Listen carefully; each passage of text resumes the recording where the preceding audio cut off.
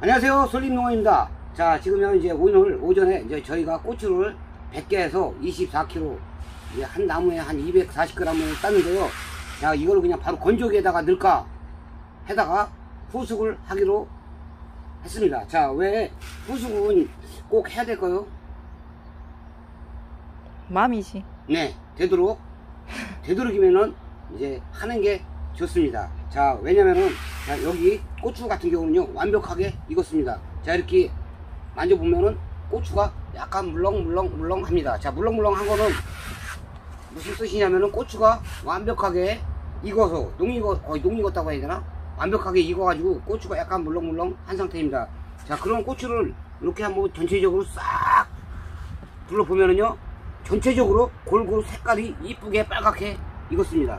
자 근데 이런 거를 갖다가 이제 다 100%다 이런 거만 따면은 거의 후숙이 필요 없어요 왜냐면은 그냥 이런 걸 따가지고 바로 물에다 씻어서 저 건조기에다 딱 넣으면 되는데 고추를 따다 보면은 자 요런 게 그렇습니다 자 요런 게자 요 면은 어 완벽하게 익은 것 같아서 딱 땄는데 따고 보니까 반대쪽에 약간 버려. 검었습니다 꺼매. 어. 자, 이게 뭐냐면은, 자, 요 정도 고추 같으면 다시 한번요. 한쪽은 빨간데, 이렇게 한쪽은 약간 검었습니다. 자, 요런 거를 땄을 때는, 이제, 이 고추가, 고추 나무에 매달려 있을 때는, 한 하루나 이틀 안에, 이렇게 전체적으로 빨갛게 됩니다. 자, 요런 거를 말렸을 때는요, 색이 별로 좋지 않고요 이제, 고추는 이렇게 완벽하게 익어야 약간 단맛도 조금 생기면서 매운맛도 있고, 자, 이제 고추가 덜 익었으면은 이제 블루베리도 마찬가지잖아요. 잖아요. 완벽하게 익어야 음, 맛이 좋은 건데 약간 덜 익으면은 맛이 약간 떨어집니다. 자 그리고 또 어떤 고추 같은 경우를 보면은 요런 거. 자 보시면은 요런 끝에가 조금 파랗거나 약간 덜 익었습니다. 여기가. 자 요런 거를 말리게 되면은 건조기에 들어가게 되면은요 색깔이 이쁘지가 않게 마릅니다. 맛도 약간 떨어지고 그리고 이제 요런 것처럼 이런 것도 한번 봐봐요. 이런 것처럼 전체적으로 다 익은 것 같은데 고추가 또 이렇게 한쪽으로다가 덜 익었어요. 자, 이런 거를 말리게 되다 보면은 이제 고추를 말릴 때 색깔이 약간 흐옇다고 해야 되나? 흐여물건하게 나옵니다. 자, 그러면 고춧가루를 빨 때도 이제 색깔도 덜 이쁘고, 어? 또 고추도 맛도 약간 뭐 큰 차이는 없겠지만 약간 아마 떨어지게 될 겁니다. 자, 그래서 이런 걸 갖다가 이제 후숙을 하는데요. 이런 거 같은 경우는 하루 정도 이틀 해도요 색깔이 완벽하게 빨가지는 않을 거예요 자 그래도 이거보다는 조금 더 빨가지고 괜찮았으니까 이제 후숙을 하는 거고요 자 이제 아까 영상에서 많이 그랬어요 야 이렇게 꼭지를 뚝 닦아갖고 말리면 어 일로 물도 들어가고 음. 여기가 이렇게 이렇게 따진 거는 상관이 없어 그렇지. 근데요 가끔 가다가 탁 따다가 여기가 툭 뜯어지는 게 있어요 그렇지. 뜯어지고 그런 게 있기 때문에 이렇게 후숙을 할 때는 일단 물에다가 씻으면 큰일 나요.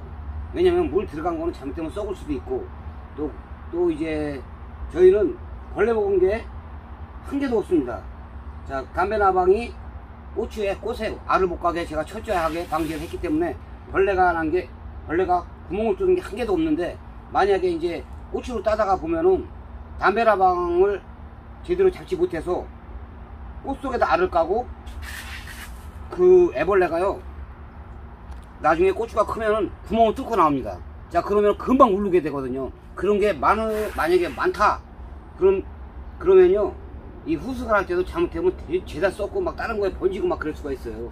그러니까 최대한 예, 구멍이 없는 만약에 벌레가 고추를 딸 때 구멍이 났다 그런 거 그냥 일단 버려 버려야 돼요 무조건. 왜냐면은 야 이거 아깝다. 그냥 고추 구멍 난 데만 놔두고 그냥 잘라가지고 그냥 씻어야지. 그러면요 고추가 되게 비위생적입니다. 왜냐면 그 속 안에 똥이 어? 똥이 드득실합니다.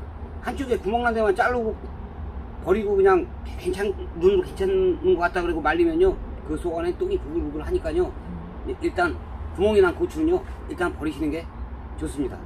자 그리고 이제 후숙을 할 때 아까 제가 말했죠.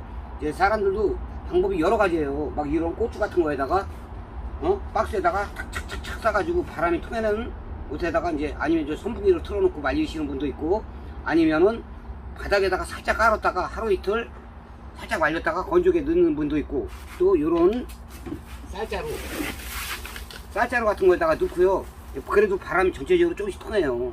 자, 이런 데다가 넣고 푹 하루 이틀 정도 푹 그냥 숙성을 시켰다가 말리시는 분도 있습니다. 자, 저희는 근데 이렇게 하겠습니다. 요런 사과 박스가 있으니까 예.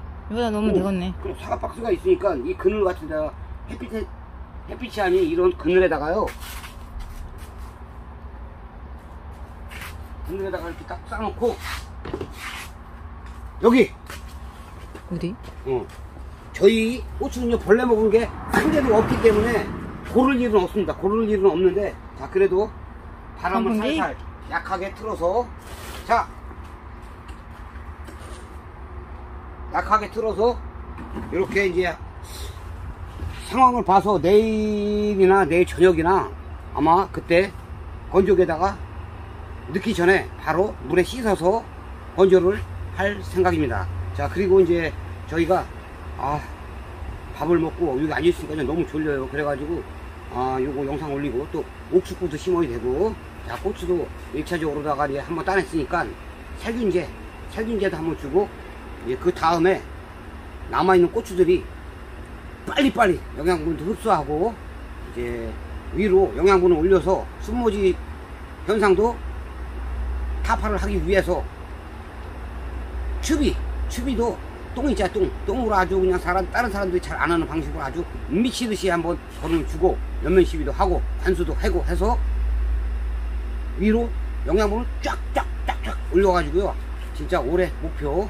어, 고추 한 주에서 두 근 반에서 한 세 근 가까이 딸 수 있도록 한번 노력을 해볼 테니까요. 자 어떻게 또 걸음을 추비를 주는지 궁금하신 분들은 또 지켜봐 주시고요.